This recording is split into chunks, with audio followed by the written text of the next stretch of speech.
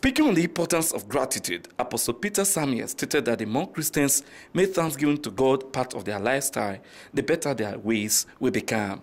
The clergyman equally told the congregation to continue to be united in the fight against evil forces, noting that the more they are spiritually inclined, they will become more formidable. Apostle Samuel urged Nigerian youths to diligently serve God and shun evil practices to enable them to attain new heights and fulfill their destinies. Message for people out there in general is that they should learn how to have the art of gratitude. When you have the art of gratitude, then you get ready for multitude.